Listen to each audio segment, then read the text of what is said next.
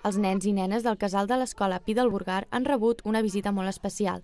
En Google, un gos ben domesticat i la seva veterinària han ensenyat als infants la manera en què les mascotes han de ser cuidades i la responsabilitat que aquestes comporten. Aquest taller és una iniciativa de l'Ajuntament de Reus a través de la Regidoria d'Ensenyament i Política Lingüística, amb la col·laboració del Consell de Col·legis de Veterinaris de Catalunya. Aquest taller educatiu s'ha estrenat aquí, al casal de l'escola Pi del Burgar, i té previst visitar altres casals d'estiu de la ciutat, com el casal Fem-nos Amics a l'escola Pompeu Fabra i el casal Joan Rebull. que és una prova pilot. La idea de l'Ajuntament és incorporar aquesta activitat del Col·legi de Veterinaris dintre d'una activitat que en diem ARE, activitats i recursos educatius, no? perquè les escoles, després durant l'any, puguin triar-les com una activitat més de dintre